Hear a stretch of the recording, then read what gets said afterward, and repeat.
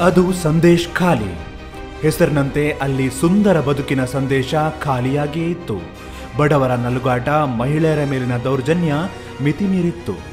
ತೋಳ್ಬಲದ ಆಕ್ರಮಣಕ್ಕೆ ನಲುಗಿದವರು, ಆಸ್ತಿ ಕಳೆದುಕೊಂಡವರ ಆಕ್ರಂದನ ಮಾತ್ರ ಕೇಳುತ್ತಿತ್ತು. ಇದಕ್ಕೆಲ್ಲ ದಿಟ್ಟ ಉತ್ತರದ ಸಂದೇಶ ಕೊಟ್ಟವರೇ ರೇಖಾ ಪಾತ್ರ.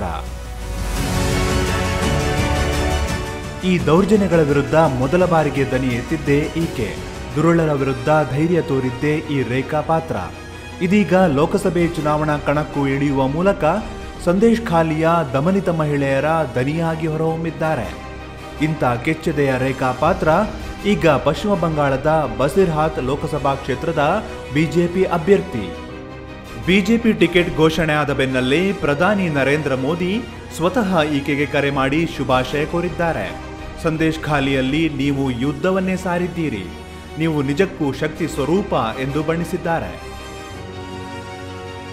मैं अपना के शुभेच्छा जानाई आप एक बड़ा दायित्व निभाने जा रही है रेखा जी संदेश खाली में आपने इतनी बड़ी लड़ाई लड़ी है आप एक प्रकार से शक्ति स्वरूपा है आपने इतने ताकतवर लोगों को जेल भेज दिया आपको अंदाजा है कि आपने कितने बड़े साहस का काम किया है ಪಶ್ಚಿಮ ಬಂಗಾಳದ ಸಂದೇಶ್ ಖಾಲಿ ಹಿಂಸಾಚಾರದ ಸಂತ್ರಸ್ತೆ ರೇಖಾ ಪಾತ್ರ ಅವರಿಗೆ ಟಿಕೆಟ್ ನೀಡುವ ಮೂಲಕ ಬಿಜೆಪಿ ರಣತಂತ್ರ ರೂಪಿಸಿದೆ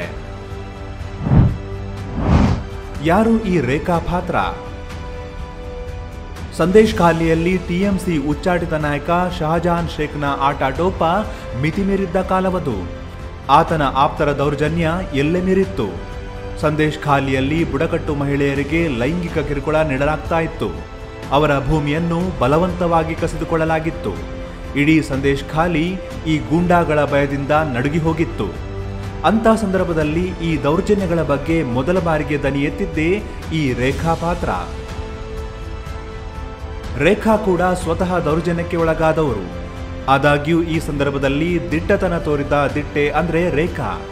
ಆ ಎಲ್ಲ ದಬ್ಬಾಳಿಕೆಗಳಿಗೆ ಬೇಸತ್ತು ಶಹಜಹಾನ್ ಶೇಖ್ ವಿರುದ್ಧ ಪ್ರಕರಣ ದಾಖಲಿಸಿದ ಮೊದಲ ಮಹಿಳೆ ಈಕೆ. ಆನಂತರ ಟಿಎಂಸಿ ವಿರುದ್ಧ ಹೋರಾಟ ತೀವ್ರಗೊಳ್ಳಲು ಪಾತ್ರ ಅವರ ಪಾತ್ರ ಪ್ರಮುಖವಾಗಿದೆ.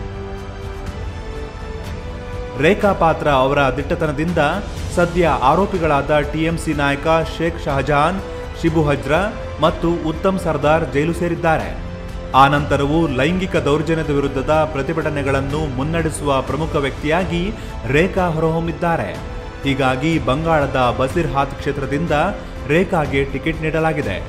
ಈ ಹಿನ್ನೆಲೆಯಲ್ಲಿ ಬಿಜೆಪಿ ಮತ್ತು ಟಿಎಂಸಿ ಮಧ್ಯೆ ತೀವ್ರ ಪೈಪೋಟಿ ಅಲ್ಲಿ ಏರ್ಪಟ್ಟಿದೆ. ಟಿಕೆಟ್ ಘೋಷಣೆಯಾಗುತ್ತಿದ್ದಂತೆ ಮಾತನಾಡಿದ ರೇಖಾ, ಸಂದೇಶ್ ಖಾಲಿಯಲ್ಲಿ ಹಿಂಸಾಚಾರದಿಂದ ತತ್ತರಿಸಿ ಹೋಗಿರುವ ಸಂತ್ರಸ್ತೆಯರ ಪರವಾಗಿ ಮುಂದಿನ ದಿನಗಳಲ್ಲಿಯೂ ನಾನು ಹೋರಾಡುವೆ. ಸಂದೇಶ್ ಖಾಲಿ ಸಂತ್ರಸ್ತೆಯರಿಗೆ ನಾನು ನ್ಯಾಯ ಒದಗಿಸುತ್ತೇನೆ ಎಂದು ಭರವಸೆ ನೀಡಿದ್ದಾರೆ संदेश कली में जो अत्याचार हो रहा है माँ बहन के साथ सब माँ बहन की साथ हम लड़ेंगे और माँ बहन अपने अपने के लिए लड़े लड़ रही है और उनकी लड़ लड़ाई आगे जाएगा हाँ उनका लड़ाई आगे जाए ये कोशिश मैं करूँगी ಪತಿ ಕೇರಳ ಮತ್ತು ತಮಿಳುನಾಡಿನಲ್ಲಿ ಕೆಲಸ ಮಾಡುತ್ತಿದ್ದಾರೆ ಇನ್ನು ಮುಂದೆ ನನ್ನ ಕ್ಷೇತ್ರದಿಂದ ಯಾರೂ ಬೇರೆ ರಾಜ್ಯಗಳಿಗೆ ವಲಸೆ ಹೋಗದಂತೆ ಕ್ರಮ ಕೈಗೊಳ್ಳುತ್ತೇನೆ. ಈ ಭಾಗದ ಜನರಿಗೆ ಇಲ್ಲಿಯೇ ಉದ್ಯೋಗ ಸಿಗಬೇಕಿದೆ ಎಂಬ ಕನಸನ್ನು ರೇಖಾ ಬಿಚ್ಚಿಟ್ಟಿದ್ದಾರೆ. ಬಸಿರ್ಹಾತ್ ಕ್ಷೇತ್ರದ ಹಾಲಿ ಸಂಸದೆ ನುಸ್ರತ್ ಜಹಾನ್, ಈಕೆ ಖ್ಯಾತ ನಟಿ. ಈಕೆಯನ್ನು ಕೈಬಿಟ್ಟು ಟಿಎಂಸಿ ಈ ಬಾರಿ ಹಾಜಿ ನೂರುಲ್ ಇಸ್ಲಾಂಗೆ ಟಿಕೆಟ್ ನೀಡಿದೆ. ಕ್ಷೇತ್ರದಲ್ಲಿ ಸಾಕಷ್ಟು ಸಂಖ್ಯೆಯಲ್ಲಿರುವ ಮುಸ್ಲಿಂ ಮತಗಳ ಮೇಲೆ ಟಿಎಂಸಿ ಕಣ್ಣಿಟ್ಟಿದೆ.